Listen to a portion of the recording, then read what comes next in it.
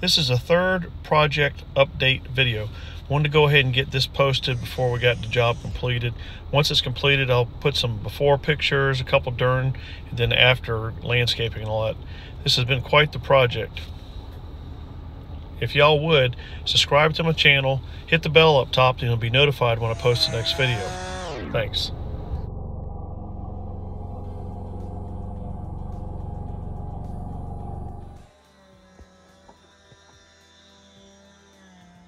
Started uh, leveling up the dirt now on top cap, filling up the interior corrugations so we don't have any settling.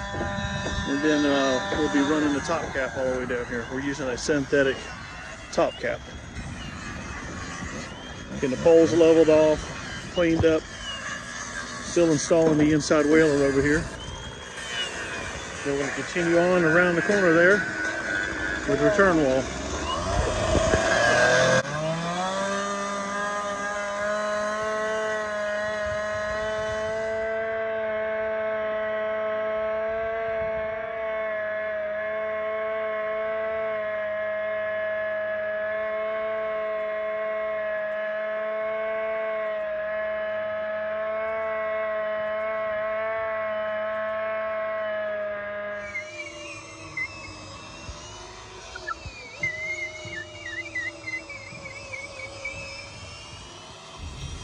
Use 8 and 10 inch pilings behind the wall. These are 8 and 10 foot long also. These poles have been vibrated in with a vibratory hammer. We put two tube 8 drag plates on front of it to help uh, secure it in the ground. And then we drill it and then install these 5 8 tieback rods. They're 18 foot back behind the wall.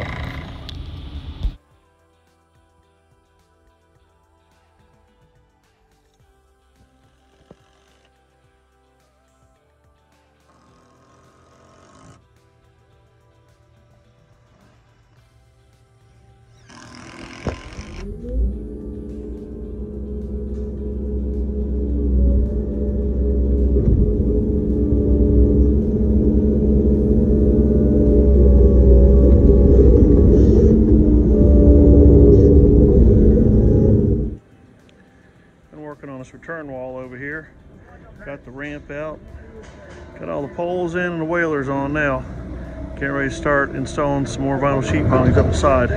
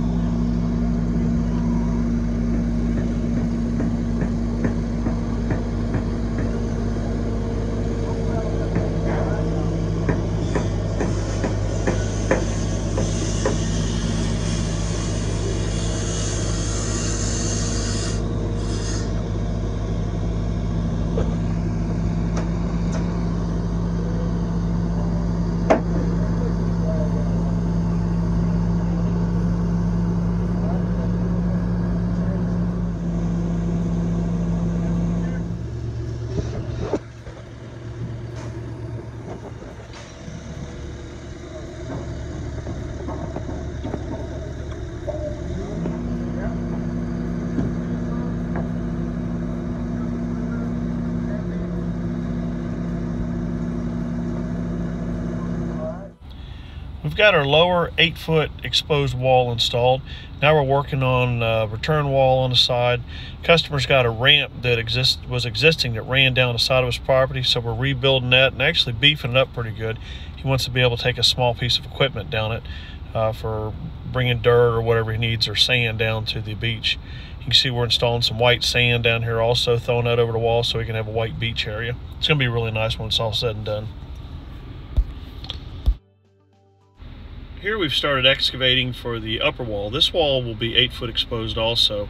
We're doing a naval style wall also with the eight inch pilings, 25 foot long, triple two by eight whalers, um, leaving the pilings up four foot exposed. We're gonna run a uh, 14 runs of uh, type 316 cable rail through the uh, pilings. Over here you see the ramp that uh, we're putting back in now. The decking on it is rough cut 2x8s for structural support. You see we've got several 2x8 uh, stringers in there for support. Here we've got the sheets installed. on the lower section. If you look in between the corrugations on the lower section of the wall, you can see where I've got some uh, six by six blocks. This helps supports the interior corrugations from blowing out this area right here.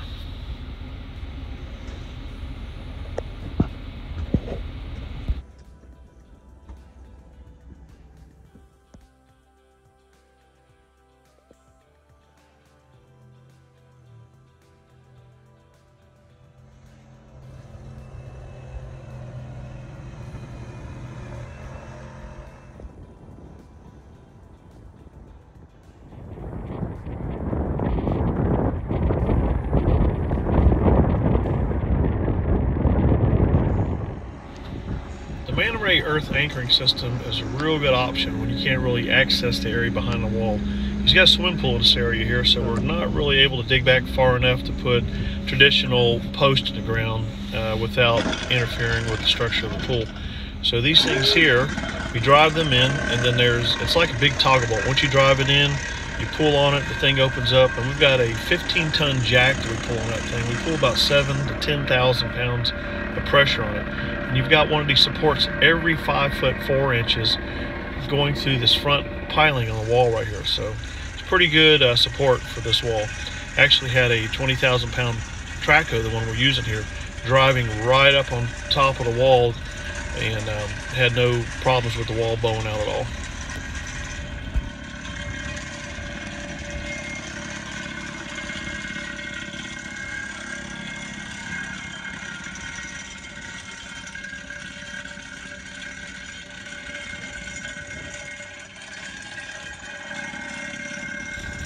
Rod you see uh, that the vibrator plate is uh, pushing on is called a driving rod.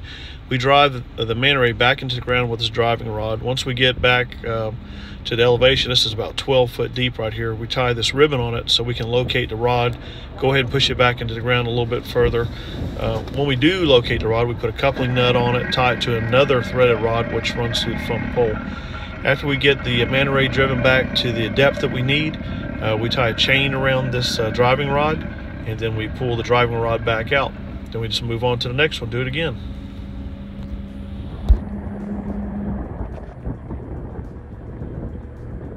You're the man, Kevin. Natural star.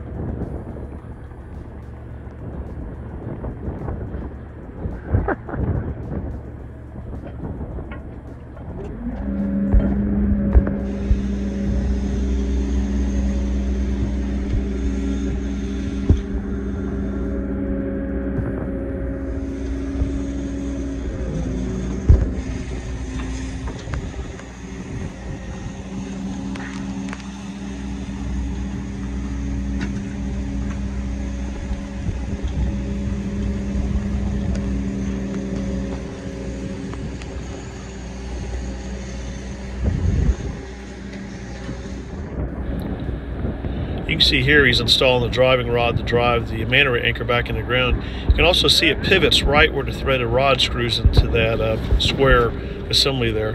When you pull on that threaded rod, it actually stands that plate up like a big flat plate right behind it. That's what gives it its pulling power.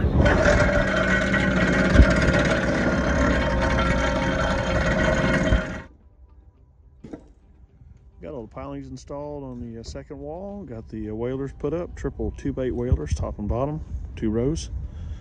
Now we're installing the Everlast vinyl 16 foot sheet panels, eight foot embedded and eight foot above the ground.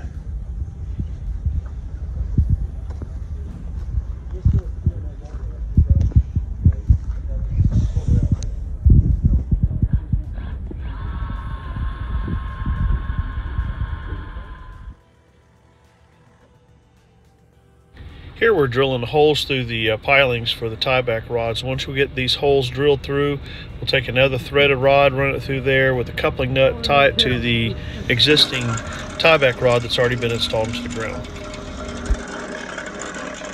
This is one of the ways that we load the uh, MANRAY anchors. We take the trackhoe to it, vibrate it with the vibratory plate, pulling on a rod, trying to get that anchor to stand back up straight.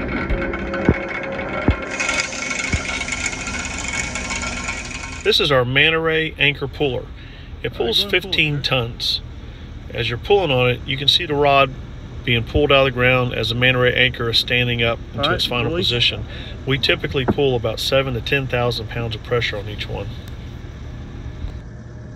All right. Good. Yep. Get a back whaler installed on this wall. Then they'll be putting a top cap on it. And you see where we're tying into the upper wall here with a little angle wall to help protect the neighbor's uh, side also.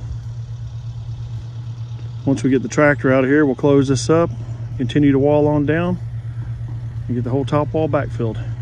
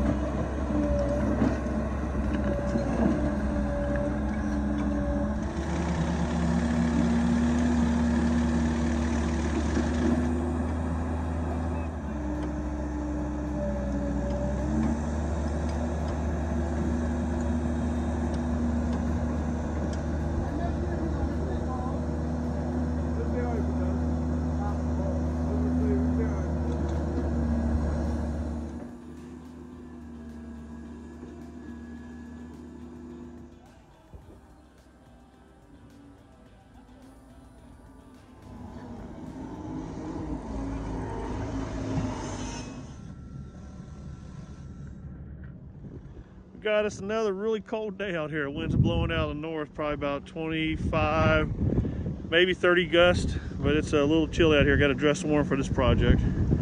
The temperature was uh, 37 this morning when I first got out here. We're installing the inside whaler now, getting it bolted up. The inside whaler actually supports the top cap once we put the uh, synthetic top cap down on top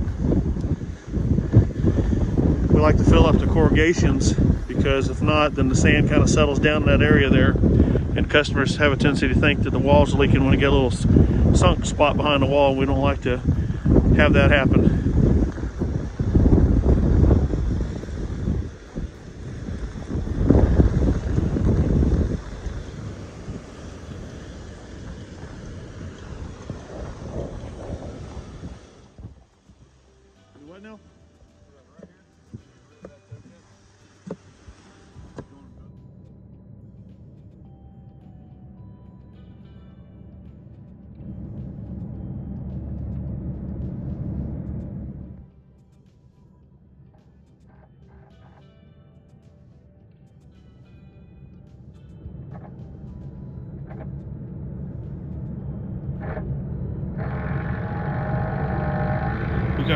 Closed up here now. Got the vinyl installed, return wall installed. Now we've got it drilled and installing the tieback rods to the tieback pilings.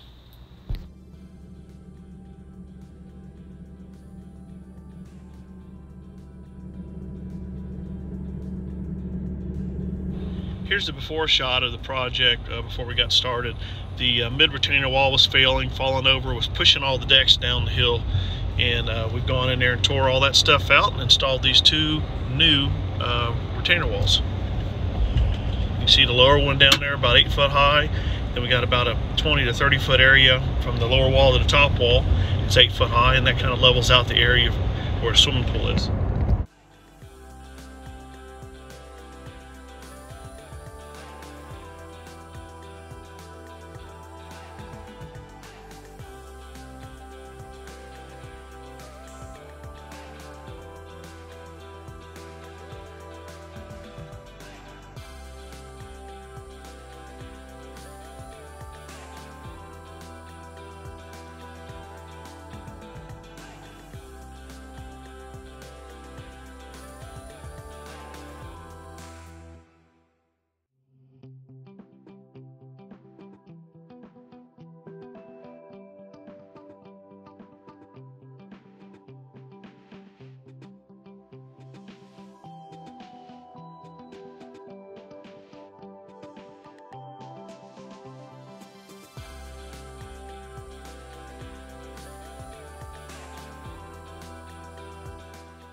Hey, thanks for watching a progress update on this project. Stay tuned and subscribe and hit the bell so you're notified when I do the completion of this project.